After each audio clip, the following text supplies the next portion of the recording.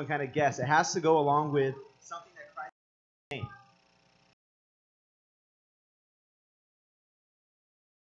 Okay, Mark.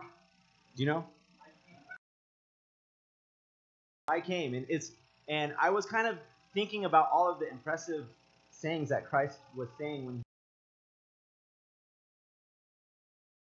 And um, the one that I felt was very, very appropriate, even though it didn't fit to a T of the I came, it is the I am the light of the world. Because really, when we start thinking about Christmas, isn't the whole thing, the whole, if you look around, everything around us is Christmas. So you start wondering, what is up with Christmas? What made it so important? And I think it all comes down to that one verse. It says, I am the light of the world. He who follows me shall not walk in darkness, but shall have the light of life. And I think we can all agree when we look at society, when we look at even the secular world, this is a great time of year, isn't it? We start asking everybody, well, I'm talking, you ask parents, what's your favorite time of the year? It's Christmas. You ask kids, it's Christmas. There's something very, very special about the Christmas time of the year. And, you know, I'll be the first one to say that I love it when they bring back the peppermint mocha uh, Starbucks drink, you know, because I don't have to pay my extra $75, uh, my 75 cents for the extra pumps of peppermint. Um, if you walk into my house almost any time during December, you'll see my wife put on Mariah Carey Christmas, and she's rocking out to Christmas tunes. And there's special tunes that they're only allowed during that time of the year. Um, right now, Christmas number one is behind us, and we're all looking forward to Christmas number two because that's when we get to break our fast and start eating meat. Um, and that's all great. But I don't think that's just what it's about.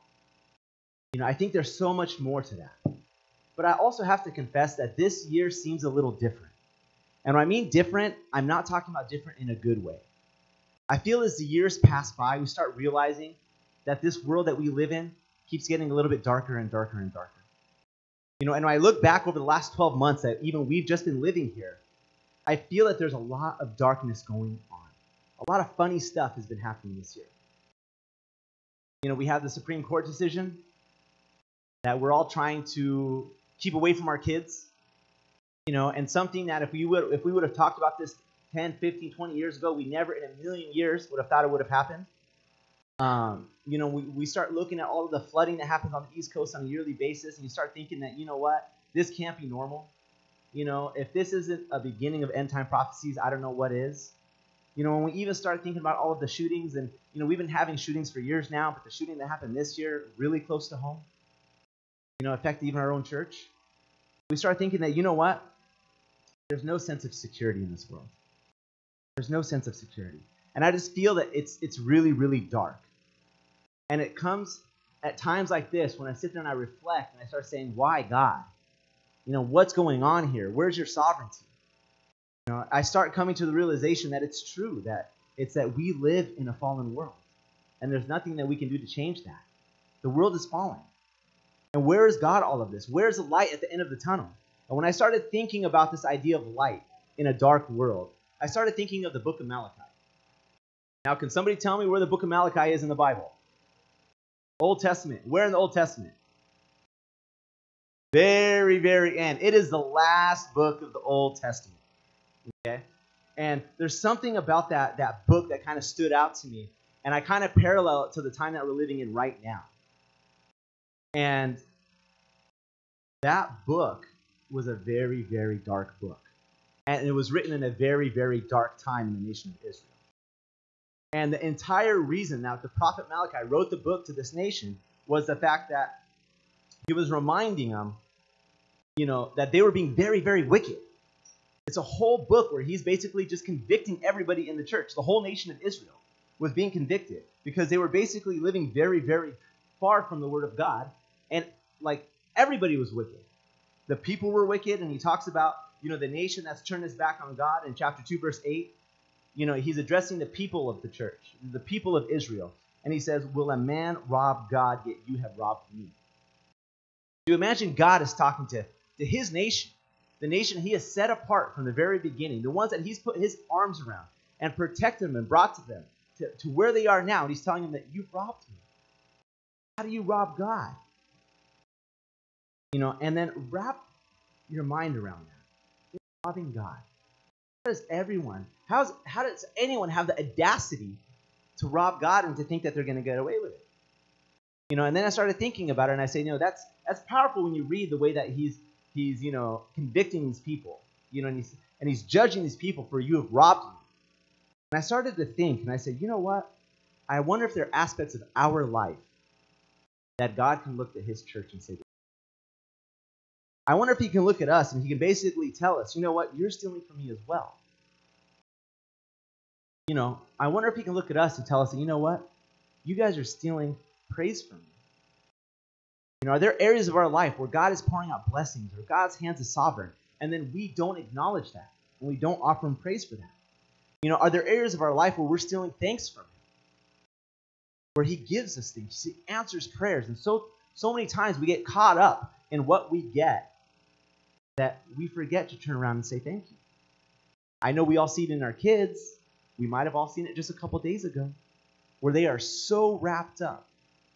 You know, they're so happy with the presents that they received that they forgot the giver of the presents. You know, I wonder if God's looking at us and says, you know what? You guys steal time from me. You guys steal time. I give you 24 hours a day, seven days a week, and that's time is one of those one of those things that every single one of us has the same amount of. It's a level playing field. And I wonder if God will look at us and say, you know what? You're not giving me time that's due to me. And I wonder if he'll look at some of us and say that you guys are stealing money. I wonder if we at times can be robbing him from his tithes. And that one is blatant. You know, because I wonder how many of us are faithful in giving God what's His. When it comes to our times, when it comes to our money, when it comes to our resources, do we live our life like it's all ours, or do we give Him the portion that's that's that's His? And one of the things I want to be crystal clear of, God has the deepest pockets. God will never come to you and say, "Hey, lend me a dollar." He doesn't need it. God's pockets are deeper than we can ever even fathom. But when I talk about tithes, I'm saying that we are the ones that are we are the ones that are losing. We're the ones that are missing out because God's going to do what God wants to do. But we are the ones that miss the blessing of the tithe and to see that how he works in that. And the discipline he teaches us and the blessings that he provides in that. And it's the only part, you know, it's the only challenge in the Bible that he gives us. That when we tithe, he will open up the, the windows of heaven and pour out blessings. And I wonder, is it our lack of faith sometimes that makes it hard for us to write the check? Because we don't have faith that he's going to bless the rest. So we had the nation, we had the people, the people were wicked. You know, so God's telling the people that you guys are wicked. But, you know, the next thing takes it a whole other level because it says even the priests were wicked. The priests, can you imagine? The priests in chapter 1, verse 6, it says, To you priests who despise my name, you offer defiled food on my altar, you offer bl- the blind as a sacrifice, you offer the lame as the sick. Is that not evil? And I'm telling you this because I want you to get an idea of the nation at this time, what they were dealing with. You know, and the problem is, is you, you go through this whole book of Malachi, and it was a dark time, and it seems that there's absolutely no repentance. There's no repentance seen in the book. You know, God goes on and he encourages his faithful few because there's always a faithful few. God will never be without his faithful few, and he encourages them. But the rest of the people are completely arrogant. And they think that they don't need God. They think that their ways are better than God. They think we can throw God some crumbs and he'll be satisfied with that. We'll just appease him.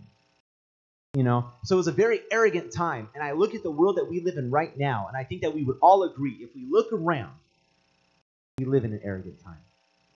The majority of, of the world around us, all of secular society, you know, none of them believe that they need God and they think that they all have it figured out. You know, everyone sees their opinion is better than everyone else's, and everyone thinks that they know better than God. And the arrogance is, is shown in, in chapter 3, verse 14. It says, It is useless to serve God. What profit is it that we have kept his ordinance? So sad to, to think that that's what was going on in the world at the time. Now, have I convinced you guys that during the book of Malachi, it was a dark time? That the nation was wicked, that the leaders were wicked, that there was like nothing but wickedness at the time. Now, here's the doozy you have 400 years from the time of Malachi to the time of Matthew, which is the first book in the New Testament. How do you think those 400 years went? I think as dark as it was in Malachi, it only got worse. 400 years of worse is the way that I look at it. And I think they got darker and darker and darker than ever. Because when the scene picks up in the book of Matthew, what are we left with? We're left with the current state of the church, the current state of the nation of Israel at that time. And who were the religious leaders? Levites and Pharisees, the scribe. You know, so you look at it, you say, this is, that was the nation of Israel at that time. Those were the leaders. Those were the leaders. And I believe that they were not even ready for what they were going to walk into. You know, because in John 1 5, it says, The light shines in the darkness, and the darkness did not comprehend it. And that's what I want to talk about. I want to talk about the light that shines in the darkness. We all need a light that shines in the darkness. Because 2,000 years ago, God's heart, God's followers' hearts were hard. They turned away from the truth and they were doing whatever that they wanted to do, whatever that they saw was right. And I like the way that it's put in the Old Testament in Judges 17:6. And I think this is really, really relevant. It says, In those days there was no king in Israel, and everyone did what was right in their own eyes. You start thinking about the way society is going on around us. We have no king. We have no king. We have no, we have no truth. And now what we start seeing is everyone just doing what's right in their own eyes. Because when you have no king, guess who leads? You know, I was talking to a friend of mine, and we were just talking about you know just random stuff, and then he made a valid point. He was talking about all of these attacks on leadership. If you look at everywhere worldwide, you know the attack is not on you know people. The attack is on leadership. You know, if you look at the Middle East, you know, the Middle East, what was all of the shifting around that was happening? It was all in the leadership, wasn't it? You know, if you look at homes, you know, people will say that these kids are attacked more and more than, you know, these kids are suffering in ways and they're dealing with temptations that we didn't deal with growing up. And I said, you know what? I'm going to challenge you. I'm going to say no. I think the attack is in the leadership of the house. I think that the men are being attacked. I think the marriages are being attacked. And Satan knows that if they can break a home, you know, those kids will be very vulnerable. You know, and it's the same thing that was promised. It says, as you strike the shepherd, the flock will scatter. And I think that is exactly what we are seeing right now. Because when we attack leadership, when we take out leadership, everyone rules over their own lives and is left with a lot of bad decisions. You know, it's amazing when we lose absolute truth in our life. You know, and I believe that this book, this book is a book full of statutes.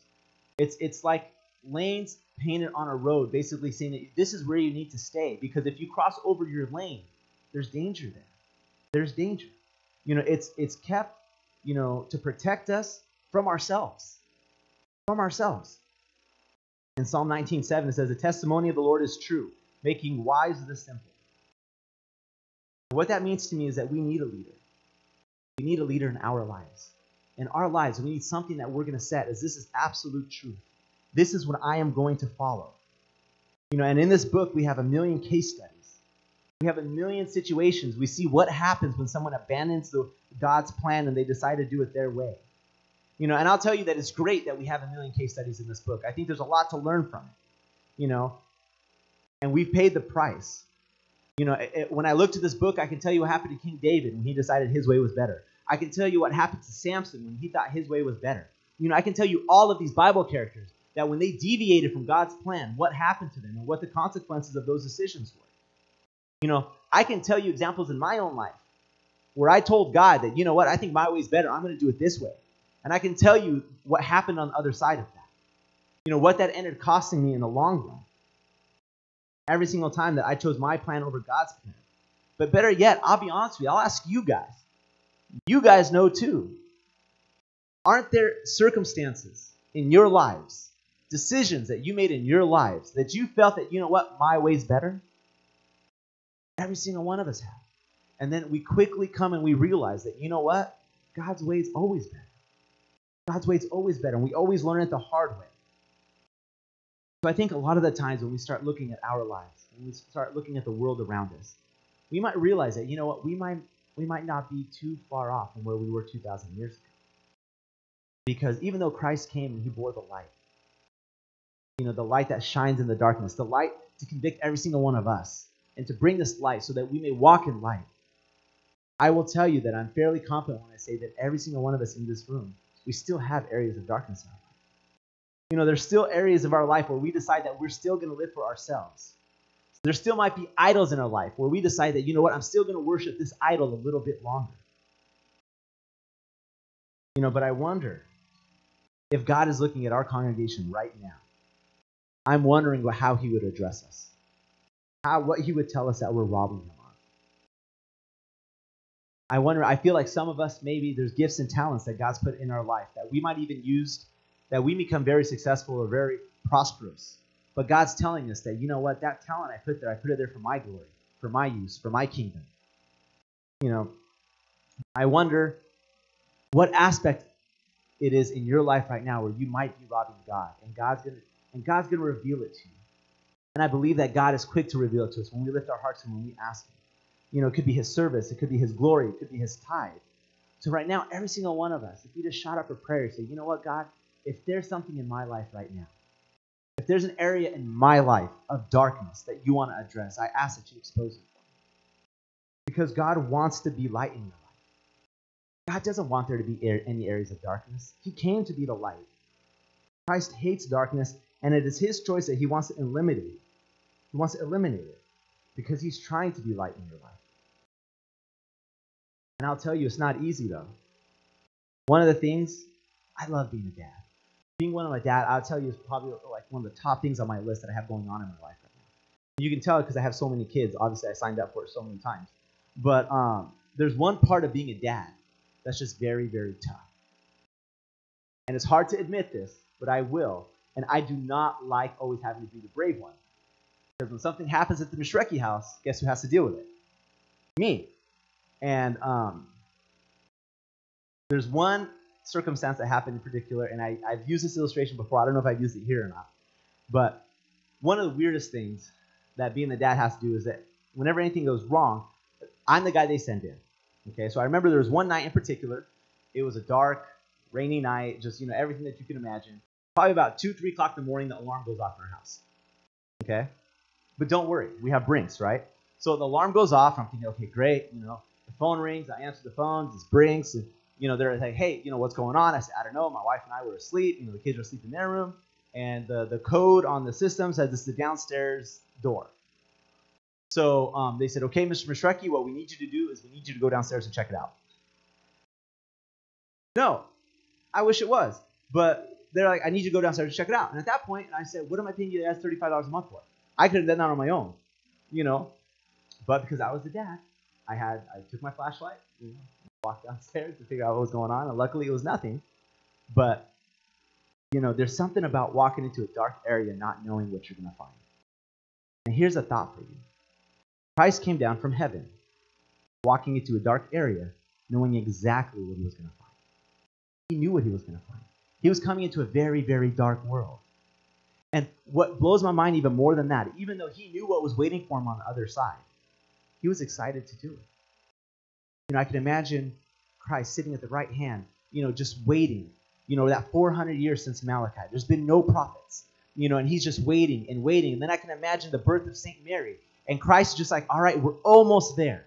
We're almost there. And as, as she grows year by year, and getting antsy, you know, knowing that he's going to come down and bear light. You know, God willingly entered into this dark world. He himself as the flashlight. He was the flashlight. You know, he knew that what he knew what he was going to expose. He knew the darkness that was at hand. He knew everything that was going to happen and he knew that it wasn't going to be pretty. He knew how people would react. He knew how it would end. He knew that he would be hated, that he would be struck, that he would be spit on. That would end with him on a cross saying, It is done.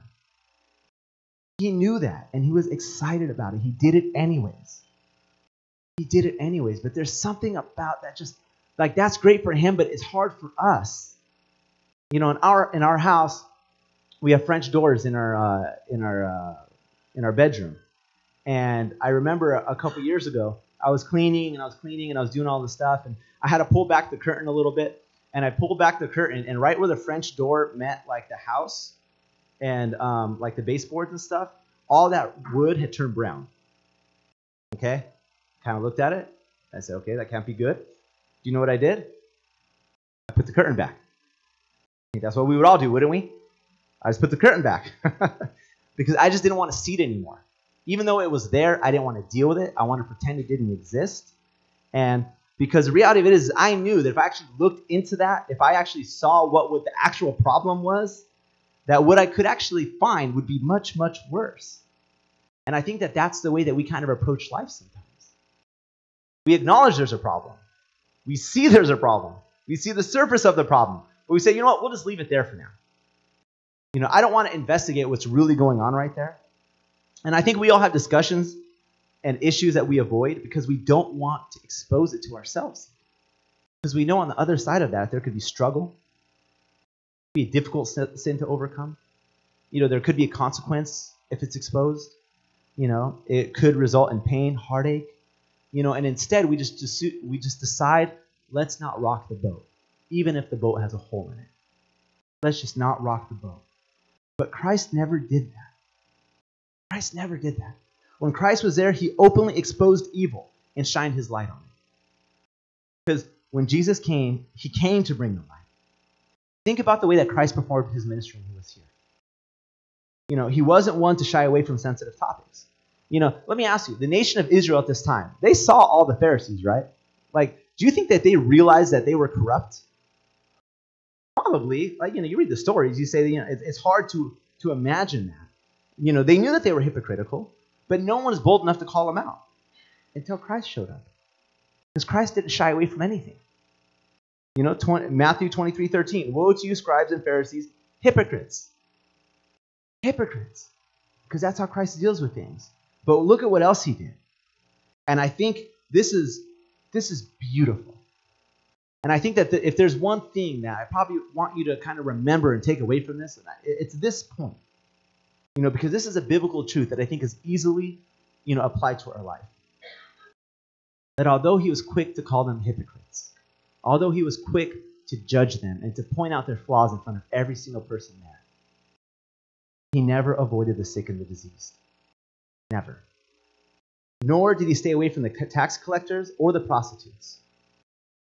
He, he went in with his light, but he went to, and he openly sought them out. Because when Christ comes, he brings his light. He always brings his light. We cannot come into the presence of Christ and not see his light. But it's a light of love. It's a light of love. When we're open to his light, his light will fully embrace us with his love. It's a light of healing, a light of peace. And what Christ has done for us wouldn't be appreciated if it wasn't for darkness. You need the darkness to appreciate the light. It's our own brokenness and loneliness that makes me realize that we need Him. It makes us realize that we need Him. And Christ wants to give us all healing and completeness, but we have to expose the areas of our life that have darkness because He can't heal us if we're not willing to show it to Him. We're not willing to expose it to Him. Because, guys, that's what Christmas is all about. The world was dark. So dark. So dark it's not even documented. You take the darkness of Malachi and you add 400 years of darkness to it. And everyone was lost. The priests, the people, everyone needed light. And that's when it happened. Christmas. The light of the world came and it shone, it shined on everyone. And I'll be the first one to, to confess that the areas of darkness in my life, I'm not happy with.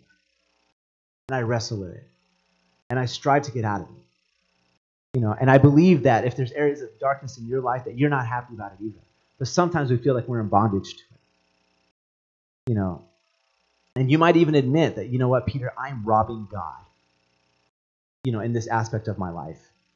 And at the same time, there's some of us that we might even feel that, you know what, God might be robbing me too.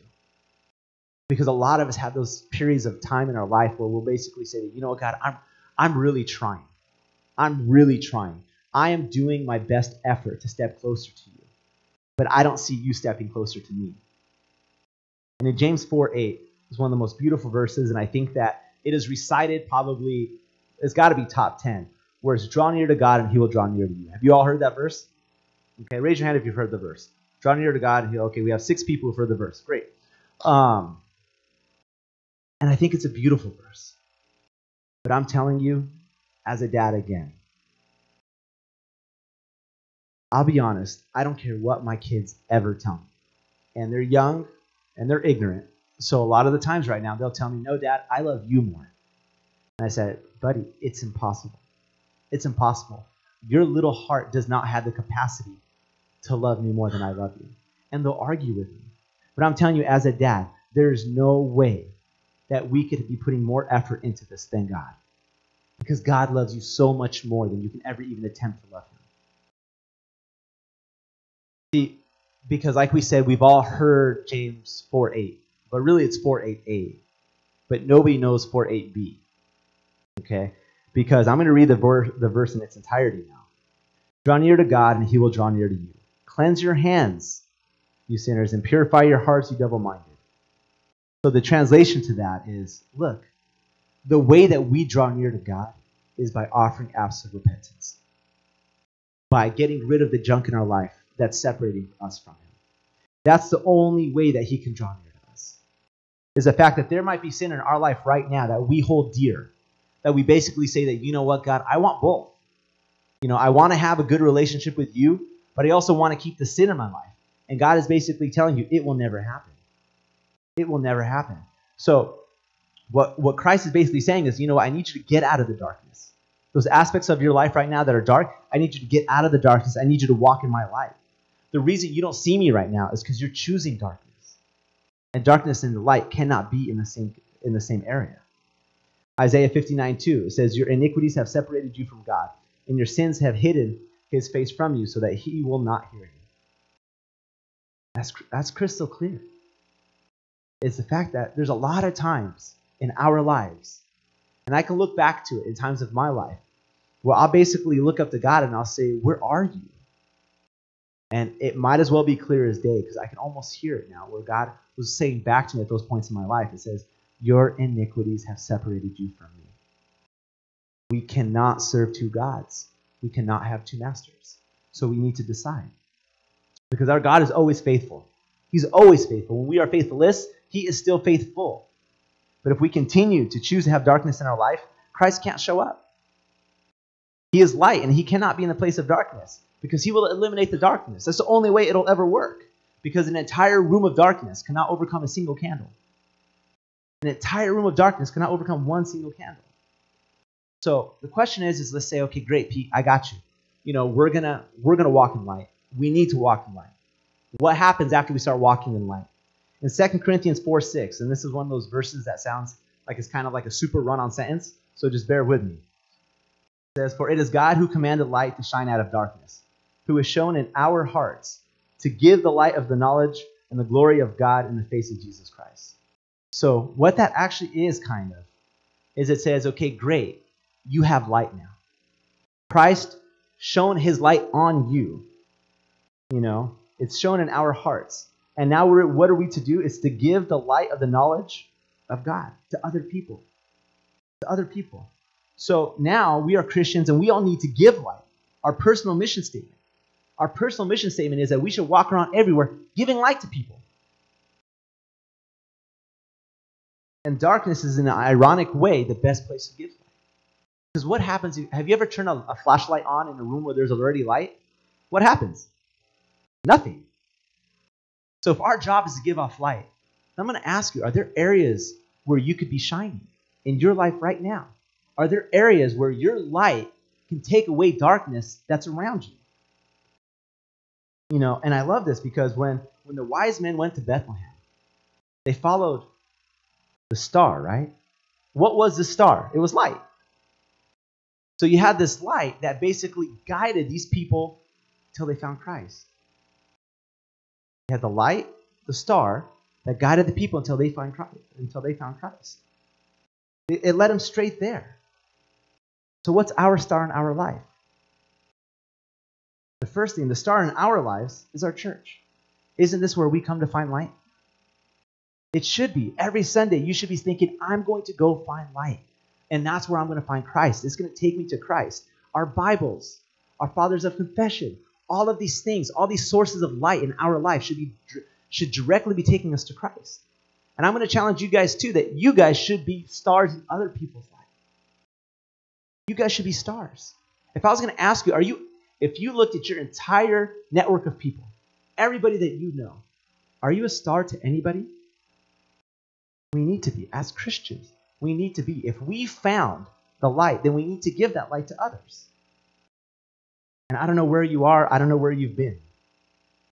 I don't know what aspects of, of your life Christ might be poking at right now. But Christ came to eliminate darkness. And that's what the season is all about. We're at the very tail end of the fast now. We have a very short period left. Are you preparing yourself for the light of the world that's coming? Are you preparing yourself? Are you ready to receive that light? Are you ready to stop being scared in the dark? You know, there's one thing that it literally happens every single day, and it keeps it close to my heart. It's that my four year old Josiah, every night when we do our bedtime routine, and I tuck him into bed, and, um, and I'm leaving, every single night he tells me, Papa, I'm scared. Because the lights are really low. He says, Papa, I'm scared. It's dark.